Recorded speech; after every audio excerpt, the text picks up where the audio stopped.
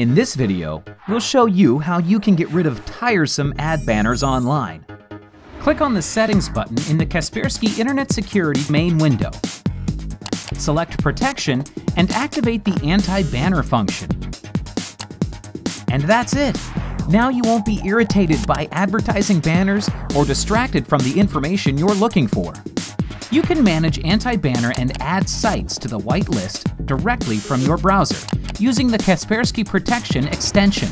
To find out more about Kaspersky Internet Security's functions and settings, visit support.kaspersky.com.